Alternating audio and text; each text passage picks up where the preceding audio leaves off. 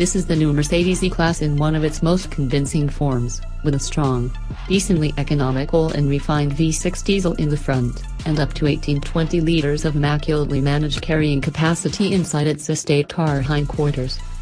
The E350D comes along as Mercedes fleshes out the E-Class estate offering at both ends of the model range, after introducing the car only a few months ago. The 148 bhp 2.0 liter E200D slots in alongside the 191 bhp E220D, bringing the wagon's pecuniary entry point down below £37,000, while the 396 bhp Mercedes AMG 43 pushes the range's upper price threshold close to £60,000, with a full-flooded E63 shortly to come in above that. Four-cylinder petrol and plug-in petrol electric derivatives are on offer too, of course, making this W213 generation version of Mercedes' long-lived mid-sized executive option more various in its engine options than any before it. But Mercedes' decision to offer the tax-saving E350e in saloon guise only means the 350d estate's existence isn't threatened by its petrol-electric sibling quite as directly as its four-door equivalent. Something which, for those who care more about how well a car works in the real world than how much appeal it may have on the order form, is to be welcomed. By comparison with some of the high-performance multi-cylinder diesel engines recently offered by Audi, BMW and Porsche, the decade-old OM642 V6 diesel in the E350d isn't exactly headline-grabbing and yet it remains so good at ushering the car along that it seldom really needs to break a sweat, and perfectly suits the brisk but relaxed stride that so much else about the car encourages you to adopt. Weighing close to 2 tons, the E-Class estate depends on torque for that sense of easy pace, and the E350D has 457 pounds-foot of the stuff from just 1,600 revolutions per minute. That's enough to make a heavy car seem surprisingly light and to put meaningful extra potency under even smallish accelerator pedal extensions. The car's 9-speed automatic gearbox is also tuned very cleverly to keep the crankshaft operating along its torque peak, and shifts more quickly and intuitively than Mercedes Autoboxes used to.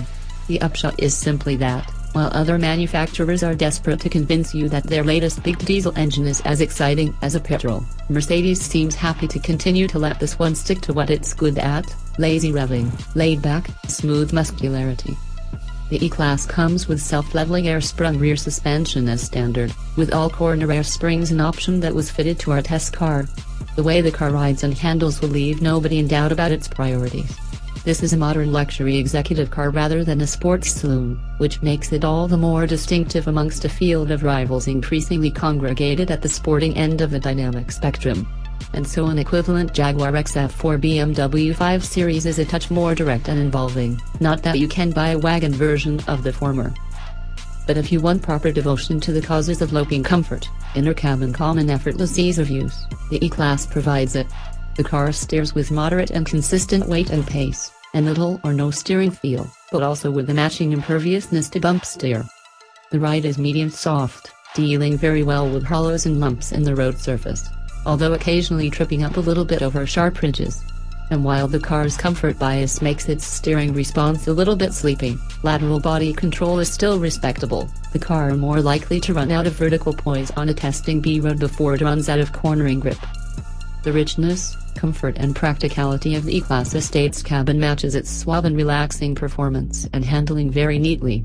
Among the highlights here are Mercedes' huge and appealingly well-rendered optional digital instrument and infotainment screens, superbly comfortable leather seats, color-selectable ambient lighting strips, and plenty of ornate and tactile chrome trim.